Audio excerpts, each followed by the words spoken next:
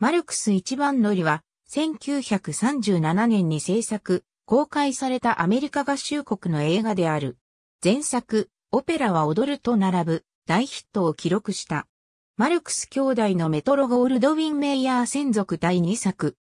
前作に引き続きサム・ウッドが監督、アラン・ジョーンズが共演したほか、ターザンの逆襲のモーリン・オサリバン、オペラハットのダグラス・ダンブリルが出演している。舞台は、競馬場近くの診療所。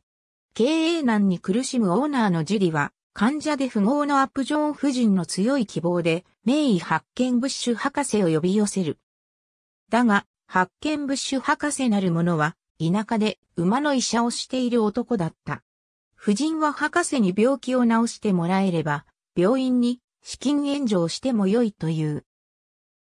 一方、ジュディの恋人で売れない歌手のギルは、運転手のトニー、機種のスタッフと協力し、名馬、ハイハットを買って、レースの賞金をジュディに渡そうと考える。